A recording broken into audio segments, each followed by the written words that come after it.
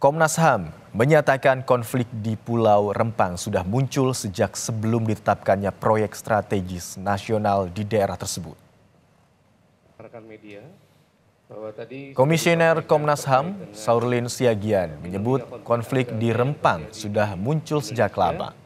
Selain masalah komunikasi, konflik ini juga muncul karena ada yang tak beres dengan kebijakan negara. Komnas HAM mendorong pemerintah agar menyelesaikan kasus ini tanpa melakukan penggusuran.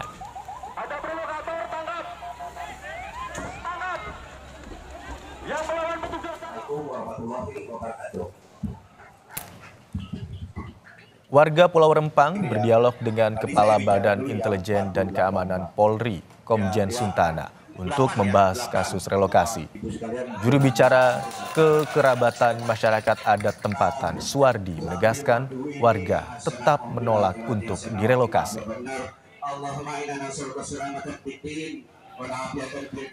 Dan situasi terkini pasca demo penolakan proyek Rempang Eco City, kita bergabung dengan jurnalis Kompas TV, Riki Ramadoni dari Batam, Kepulauan Riau. Halo, selamat pagi Riki. Bagaimana aktivitas warga di Pulau Rempang pasca mediasi yang dilakukan kemarin? Ya, Imron, uh, hingga saat ini aktivitas di Pulau Rempang itu seperti biasanya. Warga uh, melakukan aktivitas seperti pekerjaan, baik itu anak-anak ke sekolah dan hal lainnya, itu sudah berjalan seperti biasa saja. Ke, dan tidak ada pengaruh bagi warga akan adanya uh, jangka waktu pendataan tanggal yang telah ditembokkan ini oleh pemerintah. Warga tidak menghiraukan itu dan aktivitas di Pulau Rempang seperti normal kembali seperti biasa dari sebelumnya, Imro. Ya, kegiatan warga sudah berjalan seperti biasanya, sudah berangsur normal begitu ya, bahkan anak-anak juga sudah kembali bersekolah. Lalu bagaimana hasil dari mediasi yang dilakukan kemarin, Riki? Oh, dari mediasi yang dilakukan antara warga Pulau Rempang bersama uh, Kabak Intel Kampori, uh, warga juga meminta kepada Kabak Intel Kam untuk menyampaikan kepada Pak Presiden menolak keras untuk direlokasi dan dipindahkan, apalagi mengosongkan Pulau Rempang itu. Karena bagi mereka, bagi warga itu sendiri, Pulau Rempang itu merupakan sejarah bagi mereka dan tanah adat yang sudah ada dari dahulu. Maka dia meminta dan memohon kepada pemerintah untuk jangan mereka direlokasi. Untuk investasi silakan dan mereka sangat mendukung. Apa, apa salahnya mereka berdampingan?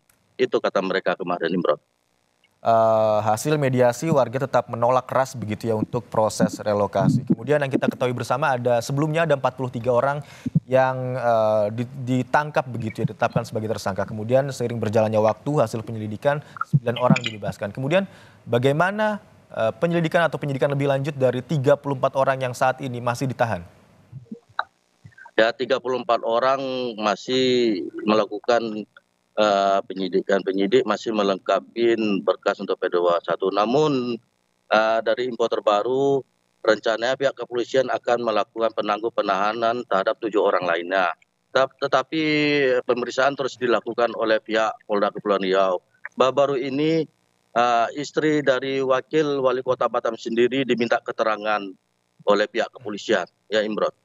Uh, pantauan Anda di lokasi, Riki, apakah ada penjagaan yang masih ketat atau sudah berangsur seperti hari normal kembali? Kalau penjagaan masih dilakukan, Imron, di Pulau Rempang itu. Pihak kepolisian atau petugas gabungan telah membangun lima posko, baik dari pintu masuk di Pulau Rempang sampai di Kampung Sembulang. Itu ada sudah didirikan lima posko. Untuk penambahan petugas, pihak kepolisian melakukan penambahan ada beberapa tugas dari Brimob hmm. untuk melakukan pengamanan. Namun untuk selain itu petugas juga uh, melakukan uh, pendataan kepada warga dengan mendatang ke rumah-rumah. Tapi warga setempat tidak belum tidak merespon kedatangan warga itu. Imron.